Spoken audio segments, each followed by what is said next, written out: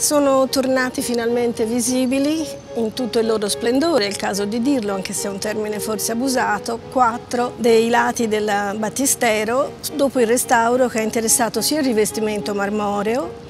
la splendida tomba di Donatello dell'antipapa Giovanni XXIII e i mosaici a partire da quelli del tamburo per arrivare fino a quelli del parapetto del matroneo. Si tratta Dell'ultimo ciclo musivo del Battistero l'impresa cominciò dalla cupola, un'impresa grandiosa e poi, avendo preso gli artisti fiorentini mano e abilità in questa tecnica difficile, si decise di proseguire anche sulle pareti, rivestendo zone marmoree che all'inizio non erano previste per ricevere i mosaici. Mosaici che ora sono stati liberati da passati restauri ormai superati o dannosi, ripuliti, eh, integrati secondo le moderne tecniche del restauro